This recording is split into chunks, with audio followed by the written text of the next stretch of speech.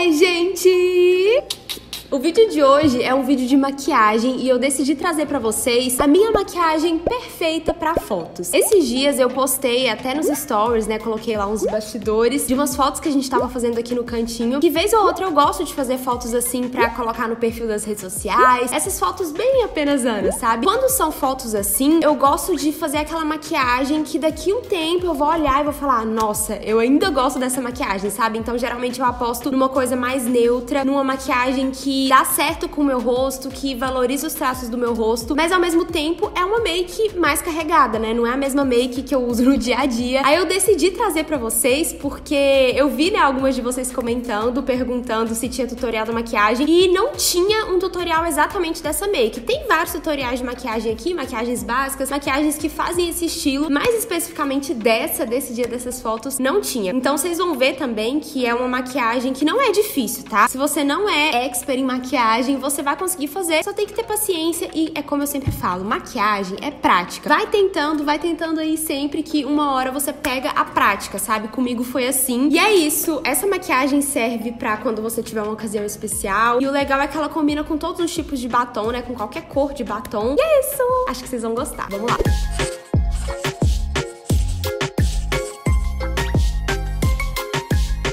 Vamos lá, estou aqui já de cara limpa. Gente, não sei se vocês repararam, mas eu tô até com uma das blusas que eu usei nessas fotos. Eu tava com um blazer branco, mas eu não vou me arriscar com um blazer branco aqui pra maquiar, né, gente? Primeiro passo é muito importante você lavar sua pele, tá com a pele bem limpinha, nunca se esqueçam disso. Então já estou aqui com a pele bem limpinha e eu vou começar aplicando um hidratante e protetor solar, que é um passo muito importante. Eu sinto que quando eu hidrato a minha pele antes, gente, a maquiagem é outra, não tem como. E o protetor solar por mais que a gente, né, não vá fazer fotos ao ar livre, né, no sol, as luzes, né, a iluminação agride a pele, né? Então é bom você usar o protetor solar sempre, até para ficar em casa, né? Ajuda aí a evitar que nossa pele envelheça mais rápido, né?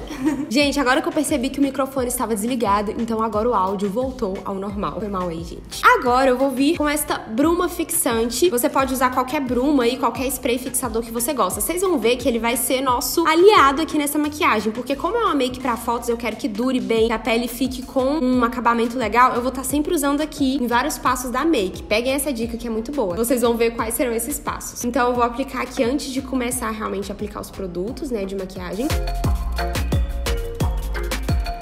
espero secar um pouquinho. E agora eu vou aplicar a base. Tem várias bases que eu gosto, várias bases que eu uso assim. Pra foto, meio que não dá pra perceber tanto assim o acabamento da base. Mas é claro que tem que ser um, uma base que vai dar uma cobertura legal ali, uma cobertura que você gosta, sabe? Eu vou usar essa da Yes Cosmetics, vocês sabem que eu amo. Tem essa daqui da Wet n Wild Photo Focus, que eu também poderia usar. Deixa eu ver qual que eu uso hoje. Hum, Ah, acho que eu vou usar essa daqui mesmo. Essa base aqui é uma base gringa, baratinha. E eu não costumo usar ela assim no dia a dia, não. Mas quando é foto, vídeo, assim, eu gosto de usar eu vou espalhando com um pincel kabuki, assim, ó. Dando batidinhas e espalhando. Ah, gente, eu tô comprando alguns produtos de maquiagem. Alguns ainda não chegaram, outros faltam comprar. Que são os produtos de maquiagem mais caros, mas que tem uma qualidade melhor, sabe? Porque eu tô tentando cuidar mais da minha pele. E eu sei que os produtos, às vezes, mais caros, eles têm uma fórmula bacana ali que ajudam os cuidados mesmo com a sua pele e tal. Então eu tô pesquisando várias marcas, marcas que eu vejo que são legais, assim, e que tenham produtos bons. Não que que as marcas mais acessíveis não sejam boas, né? Mas é que tem uns produtos mais caros que tem uma ação assim, além de ser uma maquiagem, é um produto que trata e cuida da sua pele também. Então, se vocês quiserem depois que eu faça um vídeo mostrando quais os produtos aí que eu investi, vendo se vai funcionar mesmo, se eu vou gostar, eu posso fazer uma maquiagem usando os produtos. Me contem aqui nos comentários se vocês querem esse tipo de vídeo ou se não. Enfim, me contem aí, tá, gente? Eu vou pegar esta paleta aqui, ó, corretivos da Max Love, gostando muito dela, e vou usar esse primeiro tom pra camuflar as minhas olheiras. Esse é um truque que eu tô gostando muito de fazer e principalmente pra foto, gente, porque às vezes fica dando muita sombra, assim, sabe? É um truque muito, muito, muito legal pra foto. Se você tiver muita olheira, você pode usar um tom amarelinho, sabe? Porque aí camufla muito mesmo. Ó, olha a diferença, gente.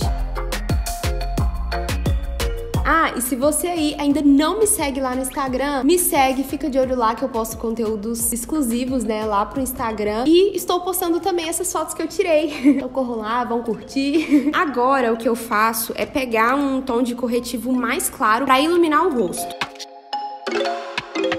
reparem, né, que a, a, a, quase que não sei, a maquiagem pra foto, ela é mais forte. Jamais faria esse monte de passo aqui se fosse uma maquiagem, né, ali pra durante o dia, assim. Porque na foto, ou até mesmo no vídeo, perde muito o efeito da maquiagem. Fica tudo mais leve na foto. Às vezes pra foto você vai ter que carregar mais no contorno, no blush, porque, gente, sério, não aparece. Igual aqui, pessoalmente, tá mais forte do que no vídeo aí que vocês estão vendo. Claro que não vai exagerar, né, mas vocês entenderam aí o que, que eu quis dizer dizer. Ah, enquanto eu tô aplicando aqui o corretivo, eu vou borrifar mais uma vez aqui a nossa bruma fixante. E vou usar a esponjinha aqui pra espalhar.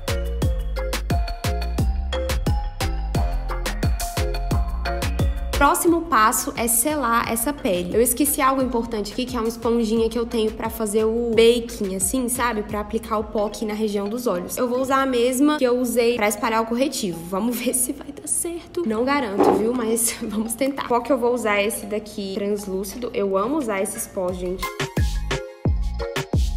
eu não tô conseguindo pegar muito bem o produto. Peraí. Gente, vou só selando tudo normalmente aqui com o pincel mesmo, tá? Mas eu gosto de fazer essa caminha de pó aqui embaixo com a esponjinha, porque com essa daqui não funcionou. Ela tá úmida, então não, não tava dando muito certo. Mas fica a dica aí. Agora o próximo passo é a sobrancelha. Aí a sobrancelha, gente, é algo assim bem tranquilo, né? Você corrige do jeito que você gosta, com um produto que você é mais acostumada, né? Uma pasta, um lápis, uma sombra, um corretivo. No caso, eu vou usar um corretivo, né? Corretivo marrom, que vocês sabem que eu gosto muito. E vou vou aplicando aqui com um pincel chanfrado. O link de todos os produtos que eu usei eu vou deixar aqui na descrição pra vocês, tá bom?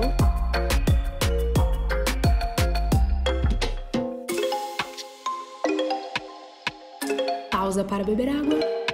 Vocês já beberam água hoje? Hum? Pronto. Aí eu só vou fazendo assim, ó, com o dedo bem de leve, só pra dar um acabamento assim mais natural. Eu vou pegar essa paleta aqui de contorno, blush, iluminador, e vou pegar esse tom de marrom, que é o mesmo tom que eu vou usar pra fazer o contorno do rosto daqui a pouco. Então eu vou pegar aqui, ó, com esse pincelzinho pequeno de esfumar, né, pra esfumar os olhos, marcar o meu côncavo. Reparem que eu tô usando um tom de contorno, né, um tom assim, bem neutro, não é nem um tom muito laranja, nem um marrom muito forte, porque senão, gente, ficou uma maquiagem muito forte ou uma cor mais chamativa, como eu falei, né? Pode ser que daqui a um tempo eu olhe a foto e falo, ah não, já enjoei desse tom de marrom. Então a dica é pegar esse tom de marrom assim bem neutro, porque é aquele marrom que você nunca vai enjoar. Eu amo tom de marrom tipo esse aqui, ó, pra marcar o côncavo, um marrom mais quente. Mas eu prefiro não arriscar muito nessa maquiagem aqui, sabe? A dica pra um esfumado dar certo é você tá com a mão bem leve, é você usar um pincel que seja próprio para esfumar, sabe? E agora com esse mesmo tom eu vou fazendo o contorno do meu rosto.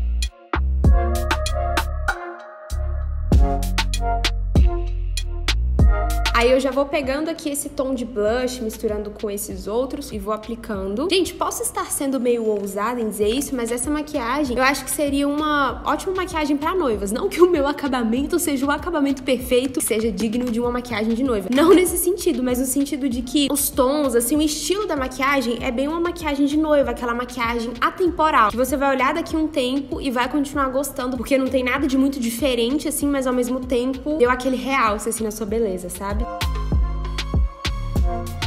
Pessoalmente, parece que tá forte, mas no vídeo e pra foto tá na medida, assim, sabe? Que aí realça bem. Iluminador eu vou aplicar depois, mas agora eu vou fazer um, um truque que dá uma realçada no olhar. Com os dedos mesmo e vou misturar esse tom de iluminador com esse. Champanhe, assim, um rosé com um dourado. E vou aplicando aqui na pálpebra móvel. Ó, só pra dar uma luminosidade no olhar. Não chega a ser uma sombra com glitter, que pode ser algo que você enjoe mais fácil também. Mas é uma sombra, assim, cintilante, só pra abrir mais o olhar. Agora, a gente vai aplicar cílios postiços. Eu confesso que eu pensei muito em nem usar cílios nessa maquiagem quando eu fui fazer as fotos, né? Porque eu tô numa fase assim que eu nem tô usando muito cílios postiços, eu tô só usando e abusando da máscara de cílios mesmo. Mas aí eu falei, não, vou usar os cílios para dar aquele realce a mais. A maquiagem já tá básica, né, digamos assim. E aí eu apostei nos cílios que não é muito grande, sabe? É um cílios assim que dá um realce, também não é um muito pequeno, senão nem faria diferença, mas não chega a ser aqueles grandões assim, sabe? Ó, esse aqui da Kiss, eu não sei exatamente qual que é esse o número. Tem vários da Kiss que eu amo, sério, eu tô amando muito usar os cílios da Kiss, viu? São maravilhosos, a qualidade é muito boa e tem uns, uns modelos assim muito, muito, muito bonitos. Ah, e antes de colar os cílios postiços, eu volto com o spray. Vou usar essa cola também da Kiss. Eu tô gostando muito dessa cola, gente. Enquanto os cílios estão secando, eu vou aplicar iluminador. É uma coisa que eu faço muito pra otimizar o tempo. Vou usar o iluminador da Duda Fernandes pra Arela Makeup. Esse iluminador da Duda é lindíssimo. Eu amo, vocês sabem. Vou aplicando aqui. Ele brilha bastante, mas ao mesmo tempo é um brilho suave, assim, que fica chique, sabe? E pra foto eu acho que isso é muito importante. Tem que escolher um iluminador que brilha, né, pra ficar bonito, mas também não precisa ser algo exagerado né? Que senão, como eu falei, depois você pode até enjoar. Se você quer algo mais atemporal, é sempre bom você pensar naquilo que tem mais probabilidade de ser atemporal, né? Então, se for algo muito exagerado, pode ser que daí um tempo você olhe e já canse, sabe, daquilo. Vou aplicando aqui, ó, abaixo da sobrancelha também.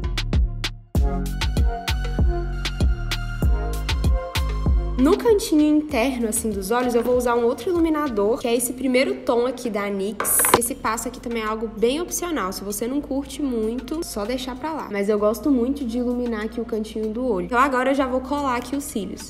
Cílios aplicados, calma, que fica estranho. Mas foca aqui agora nos próximos passos que eu vou fazer, porque provavelmente você deve ter pensado, não, a maquiagem já tá quase acabando. Não, calma que esses próximos detalhes aqui que a gente vai fazer no olho fazem toda a diferença pra dar um acabamento mais bonito e realçar mais o seu olhar. Antes de aplicar a máscara de cílios aqui para unir os cílios postiços com os naturais, eu vou pegar essa caneta delineadora da Dylos e vou aplicar rente aqui aos cílios só para tirar esse efeito branco assim da cola, sabe? Não chega a ser um delineado, é só pra tampar mesmo e cobrir o branquinho da cola.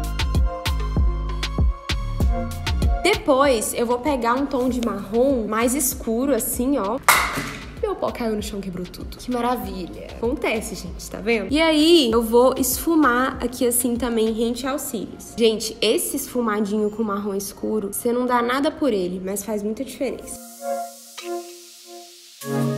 Aí agora sim a máscara de cílios pra unir os cílios postiços com os naturais. Eu gosto de auxiliar assim com o dedo, ó, que eu sinto que, sei lá, que funciona mais. Olha a diferença quando aplica a máscara, gente. É outra coisa. Fica até um. O acabamento é outro. Ó, tô aplicando iluminador aqui também, ó. Aproveitando pra dar uma retocada aqui. Agora eu vou aplicar o batom. Eu vou usar esse aqui, que é a cor avelã da Yes Cosmetics. Vou tirando a base dos lábios. E, gente, eu confesso que eu tinha pensado de aplicar um lip tint, né? Esse efeito vermelhinho na boca que eu tô amando. E aplicar um gloss por cima, alguma coisa assim. Bem o estilo que eu tô usando muito ultimamente. Só que eu falei, gente, o lip tint está uma febre. E pode ser que daqui um tempo eu enjoe, né? A gente cansa, às vezes, das coisas quando elas ficam, assim, muito em alta. E eu tô usando muito e tô amando muito. Mas pode ser que daqui um tempo eu canse. Então eu falei, não, como essas fotos eu gosto de usar elas por muito tempo e tal, eu vou usar um nude, né? Um marronzinho assim que eu gosto, que não tem erro, sabe? Mas, como eu falei, essa é uma maquiagem que combina com vários tons de batom, então fica aí, né, a dica pra vocês. Ah, aí uma coisa que eu fiz também que eu já ia esquecendo foi aplicar tom de marrom aqui embaixo. Eu vou pegar esse aqui, ó, e vou aplicando aqui com um pincelzinho chanfrado pequenininho. É algo bem de leve mesmo, só pra dar um acabamento aqui nessa parte inferior dos olhos. Eu não gosto de aplicar muita coisa aqui, porque senão o meu olhar fica meio cansado, sabe? Mas se você gosta, né, de máscara de cílios aqui embaixo, de lápis, essas essas coisas, essa é a hora, né, de você fazer isso. E tá pronta a nossa maquiagem. Eu acho que o segredo pra maquiagem ficar legal é fazer aquilo que você realmente gosta, aquilo que realmente você se sente bonita, sabe? Eu sei que tem meninas que amam delineado, outras gostam, sei lá, de um batom de tal cor. Então você vai ter que ver aquilo que é o que você mais gosta, sabe? Essa maquiagem aqui pra mim é aquela que não tem erro, sabe? Que eu amo mesmo. E é isso. Me contem aqui nos comentários quais as próximas maquiagens que vocês querem ver aqui no canal, tá bom? Eu quero muito a sugestão de vocês. Um beijo, fiquem com Deus e até a próxima. Tchau!